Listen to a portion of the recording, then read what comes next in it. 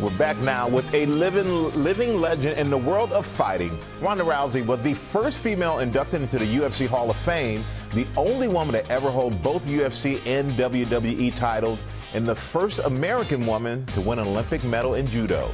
She's written her second memoir called Our Fight. And give it up for Ronda Rousey, everybody. Yes. Welcome here, and you, welcome, welcome to the show. And you know, I, have always been a big admirer of yours, and, and, all fighters in general, because it's such a tough business, and you've been so open uh, about everything that's gone on in your career and the brutal consequences of fighting. And one of those things is concussions. Mm-hmm. And and I know that you've suffered from concussions. How are you doing right now?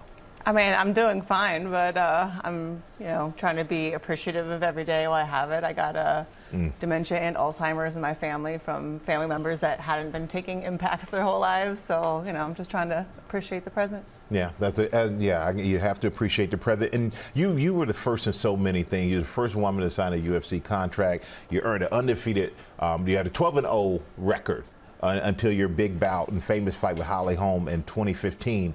And how did that, that bout change the course of your career?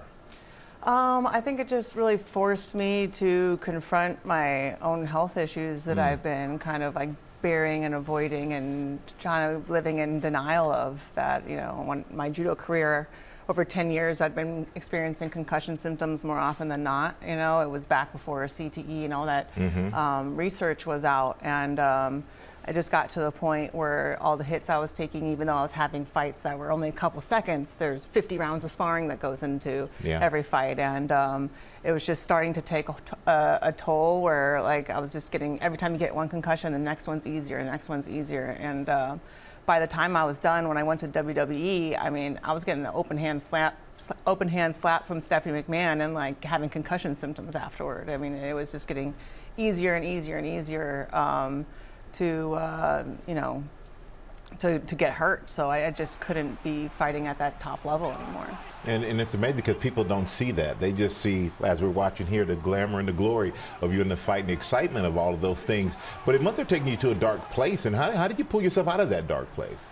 Uh, I mean, my husband had a lot to do with it. You know, mm. he uh, just kept a lot of chocolate and crepes going, and and like love and understanding. And he didn't try to like rush me through it and let me kind of like take my time in, in dealing with it and just like being there for me. And then after the UFC, you go to the WWE to wrestle. You become the champion. What made you step away from that? Uh, well, it's just not a lifestyle that I can uh, continue while being a mom. You know, mm. I uh, was on the road 18 months with my baby, and it was just nothing that we could sustain forever. Would you ever consider going back to the WWE? Uh, not unless things drastically change with how things are run there, and so I, I highly doubt it. And I know you and your husband, husband Travis, you have a working farm. Yeah. So you're on Instagram, you got animals everywhere. You're working, you're working. Um, what, what's next for you?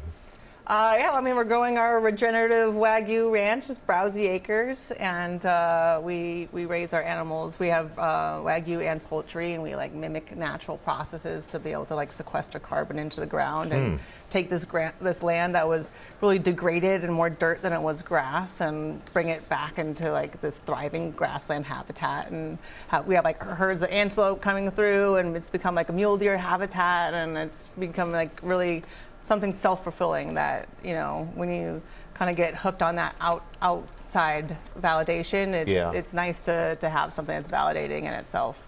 Well you describing that i'm like sounds like paradise. It is.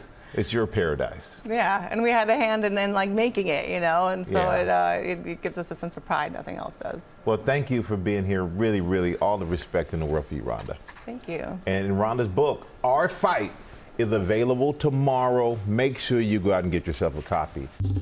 Well, hey there, GMA fans. Robin Roberts here. Thanks for checking out our YouTube channel. Lots of great stuff here. So go on, click the subscribe button right over right over here to get more of awesome videos and content from GMA every day, anytime. We thank you for watching, and we'll see you in the morning on GMA.